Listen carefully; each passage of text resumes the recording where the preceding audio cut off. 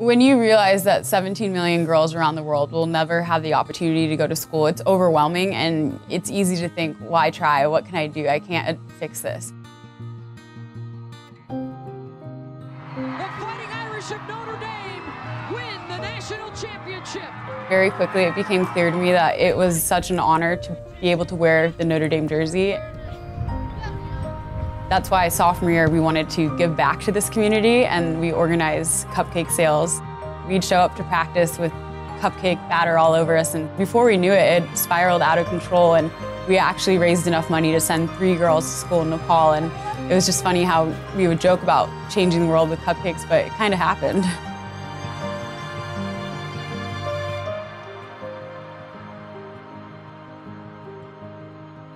Before that summer, I never really realized the transformative role soccer could play in these girls' lives. Even though they're in school, they're very timid and very shy and not participating. So I decided, because I'm a soccer player, let's get out on the soccer field. Even though soccer is a universal game, it's a man's game. So it took a few weeks convincing them to get out onto the field. But once they got out there, they finally relaxed and they learned it's okay to make a mistake. It's okay to call for the ball and run and be competitive. It's okay to act this way. And it really started translating from the field into the classroom. How do you spell that?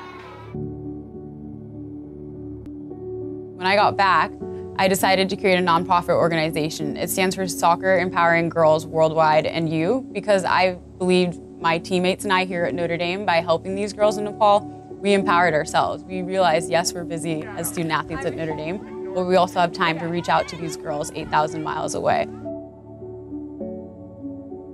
everywhere we turned, there was someone who had been there before, and it was through the Notre Dame professors we were able to receive so much advice. It was just conversations with those professors who really broke it down for us and helped us start to turn this idea into a reality.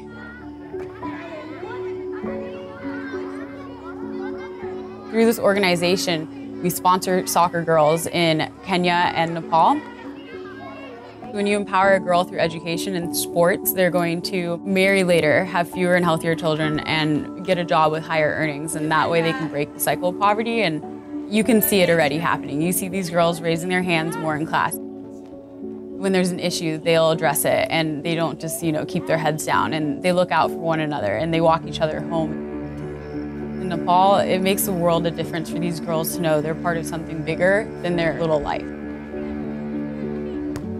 it's given them this identity and it's given them something to, to really live for and to be proud of. And that's the biggest change. I see them walking with their heads higher and I see them making eye contact and you know, they're athletes, they're soccer players now.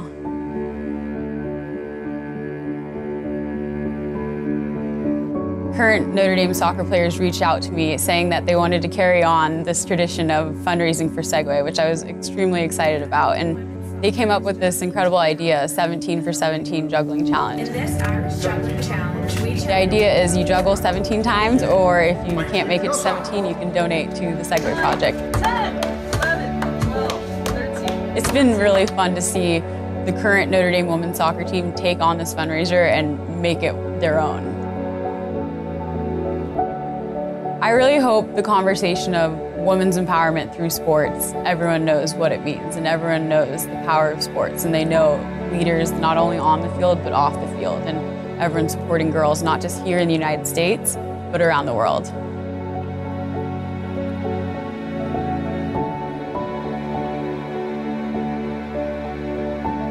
Notre Dame taught me, yes, you might be going through a lot, but you can always do more. You always need to look at those around you and ask yourself, what are they going through and how can I help them? And that's what I've taken away from the school and I intend to carry it with me the rest of my life.